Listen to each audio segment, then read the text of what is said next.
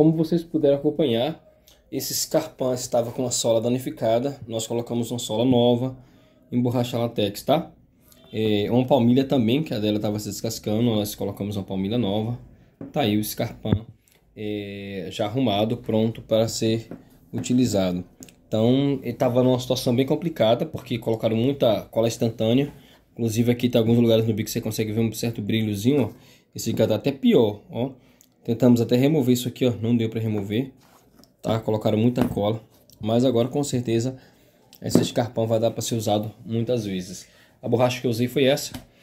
Eu modelei com um pedacinho que sobrou da sola velha, tá? E a outra parte eu modelei com o próprio sapato. Fui riscando e modelando, tá bom? Espero que vocês tenham gostado da dica. Um abraço, se inscreve no canal e me acompanhe no meu Instagram, arroba Sergipana.